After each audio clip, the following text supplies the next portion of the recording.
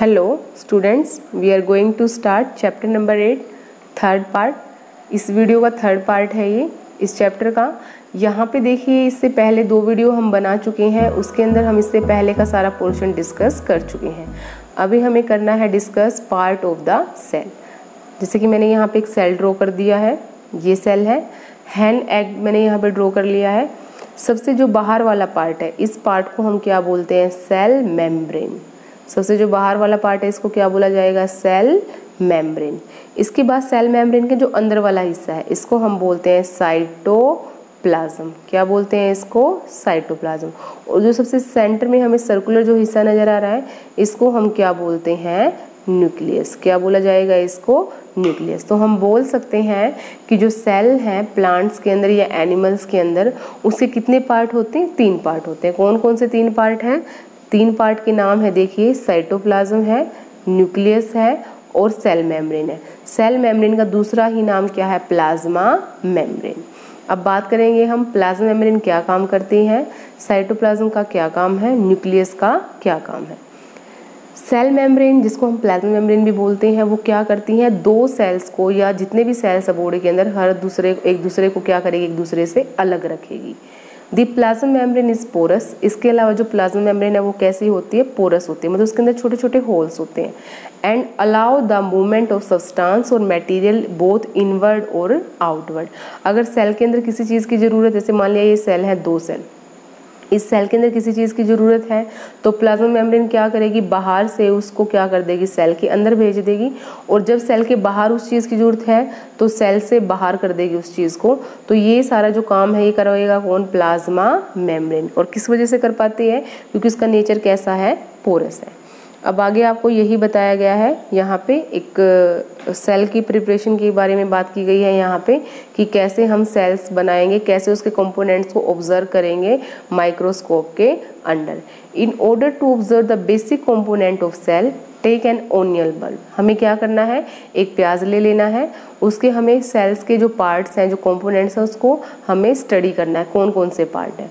Remove the dry pink covering जो dry pink covering है, उसको हमें उतार देना है। जो पर्पल कलर की पील होती है you can easily separate this from the freshly white layer of the bulb with the help of forceps और इवन और हैंड ये जो आप अलग करोगे उस लेयर को, उसको आप अपने हाथ की हेल्प से भी कर सकते हो। और फोर सेल्फ मतलब एक तरह की चिमटी होती है, जो हम लैब में यूज़ करते हैं।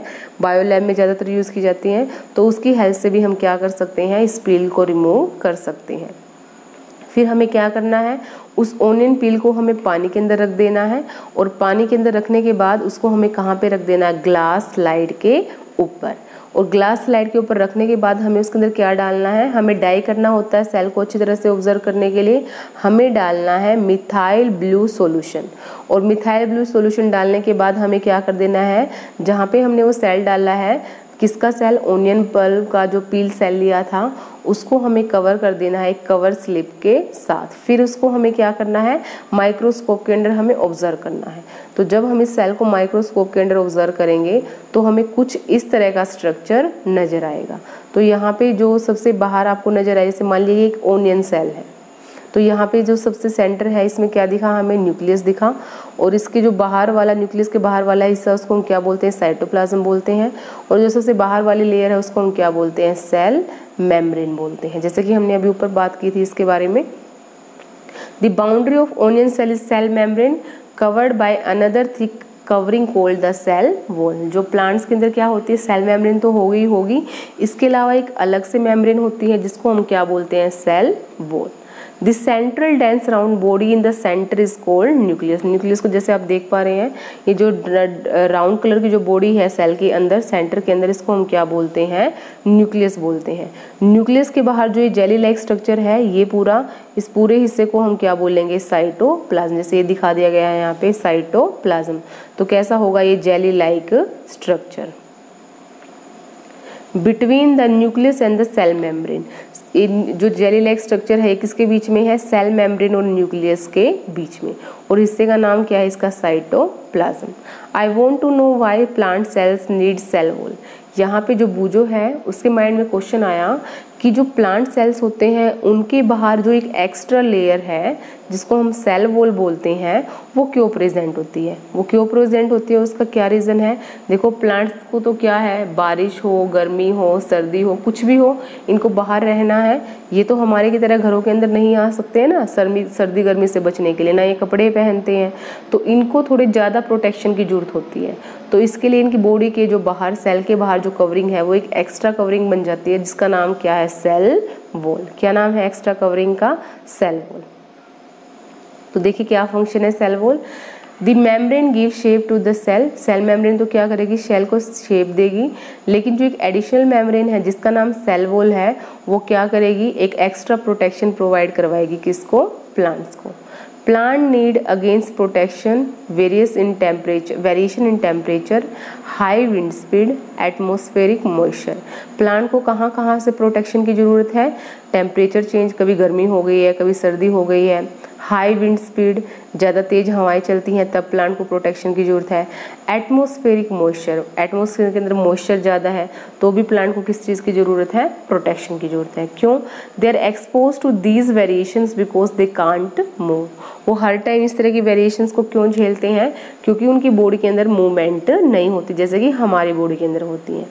Cells can be observe in the leaf peel of tradescantia elodea and rhoeo ये एग्ज़ाम्पल दिए गए हैं लीव्स के, जहाँ पे आप सेल्स को ऑब्ज़र्व कर सकते हो। जैसे कि हमने ओनियन सेल्स के किए हैं ओनियन पील के, उसी तरह हम इन प्लांट्स के लीव्स को लेके भी सेल को ऑब्ज़र्व कर सकते हैं।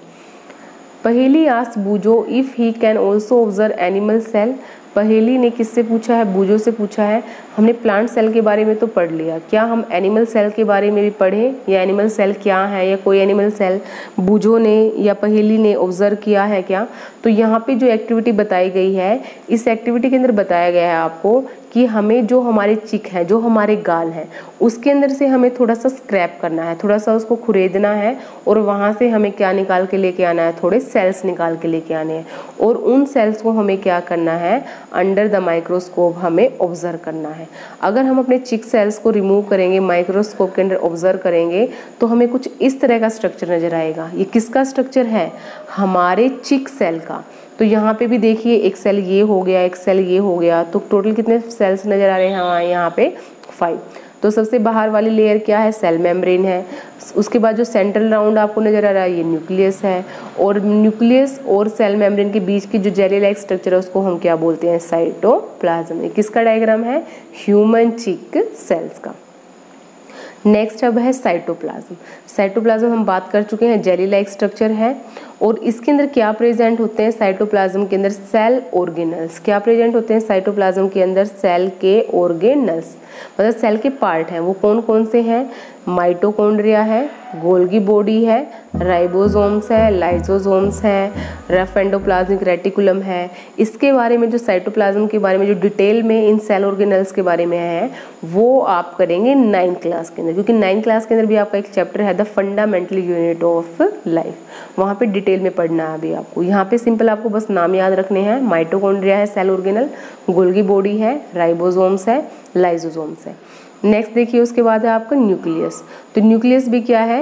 एक इम्पोर्टेंट कंपोनेंट है लिविंग सेल का और ये कैसा शेप होता है इसका? स्फेरिकल शेप और कहाँ पे लोकेट होता है ये? सेल के सेंटर के अंदर। जैसे कि हमने डायग्राम के अंदर देखा यहाँ पे, ये क्या है? न्यूक्लियस कैसी शेप है इसकी? स्फेरिकल शेप न्यूक्लियस के बाहर भी एक लेयर होती है, जिसको हम क्या बोलते हैं? Nuclear membrane. और न्यूक्लियर मेम्ब्रेन का काम क्या है? अगर साइटोप्लाज्म से कोई चीज़ सेल के न्यूक्लियस के अंदर भेजनी है, या न्यूक्लियस से कोई चीज़ बाहर साइटोप्लाज्म के अंदर भेजनी है तो ये काम करवाएगा कौन? वहाँ पे न्यूक्लियर मेम्ब्रेन, जैसे सेल के बाहर के मेम्ब्रेन को सेल मेम्ब्रेन बोलते हैं। उसी तरह न्यूक्लियस के बाहर की लेयर को मेम्ब्रेन को हम क्या बोलते हैं? Nuclear membrane. With the help of microscope of higher magnification, we can also see a similar spherical body in the nucleus. This is called the nucleolus. अब उसके बाद इन्होंने बोला है, इतना तो अगर हम सिंपल माइक्रोस्कोप से देखते हैं तो ये स्ट्रक्चर हमें नज़र आ जाएगा।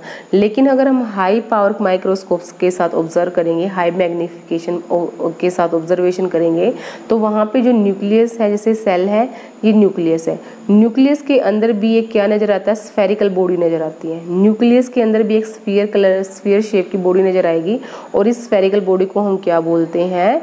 न्यूक्लियोलस इसके अलावा न्यूक्लियस के अंदर क्या नज़र आएँगे? थ्रेड लाइक स्ट्रक्चर अभी देखिए यहाँ पे मैं आपको न्यूक्लियस का डायग्राम ड्रॉ करके दिखाती हूँ कि न्यूक्लियस के अंदर क्या क्या नज़र आएगा। ये न्यूक्लियस है, ये पूरा हमने सेल ड्रॉ कर लिया।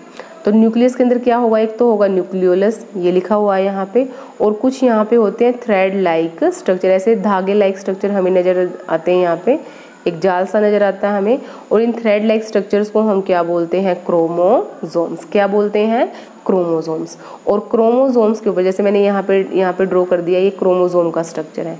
क्रोमोजोम्स के ऊपर लाई करती हैं जीन्स क्रोमोजोम्स के ऊपर क्या लाई करती हैं? जीन्स लाई करती हैं। और क्रोमोजोम्स की जो जीन्स हैं, उनका काम क्या है? जो भी हमारे पेरेंट्स के जो करेक्टरिस्टिक है उसको किसके अंदर पहुंचाना? उनके बच्चों के अंदर पहुंचाना। जैसे कि हम बोलते हैं ना कि ये तो अपने दादा पे गया है, दादी पे गया है, या फिर अपने पापा की डिक्टो कॉपी है ये। ये किस वजह से? ये जीन्स की वजह से। क्योंकि जो फादर के जीन्स हैं, वो किसके अंदर आ गए हैं? बच्चे के अंदर आ गए हैं। तो ये क्या है? Genes are the inheritance unit of the characters from parents to the their offspring offspring का मतलब their baby chromosomes can be seen only when the cell divide जो क्रोमोजोम्स हैं, वो हमें कब नज़र आएँगे? जब हमारे सेल्स का क्या होगा? डिवीज़न होगा। तभी सेल्स के अंदर हमें क्या नज़र आते हैं? क्रोमोजोम्स उसके बाद नेक्स्ट देखिए। यहाँ पे जीन्स की बात बताई गई है। जीन्स मैंने बता दिया था आपको, जैसे कि हमारे पेरेंट्स से जो करेक्टर हमारे अंदर आते हैं, वो किसकी वजह से आते हैं? जीन्स की वजह से आते हैं। जैसे कि मान लिया करली हेयर है मदर के और बच्चे के भी करली हेयर हो गई हैं तो कौन सी जीन्स आ गई हैं? करली हेयर्स की जीन आ गई है। कहाँ से कहाँ? मदर से, उसके बच्चे के अंदर। या फिर आइज़ का कलर है, जैसे ब्राउन कलर है फादर का और बच्चे का भी जो आइस का कलर है, ब्राउन आ गया है। तो जीन्स कहाँ से आई है? फादर से उसके बच्चे के अंदर। तो हम बोल सकते हैं, न्यूक्लियस का काम क्या है? In addition to its role in the inheritance, act as control centre of the activities of the cell. Cell के अंदर जितनी भी एक्टिविटीज़ होती हैं, जो भी सेल के काम है, उन सभी को कंट्रोल कौन करता है? न्यूक्लियस कंट्रोल करता है। तो जो भी एक तरह से कंट्रोल सेंटर कौन है हमारे सेल का, वो है nucleus. The entire content of a living cell is called protoplasm जो भी लिविंग कंटेंट है हमारे सेल के अंदर, उसको हम क्या बोलते हैं? प्रोटोप्लाज्म जैसे कि देखिए, ये सेल है, ये न्यूक्लियस है। साइटोप्लाज्म और न्यूक्लियस को इकट्ठा हम क्या बोल देंगे इसके कंटेंट को?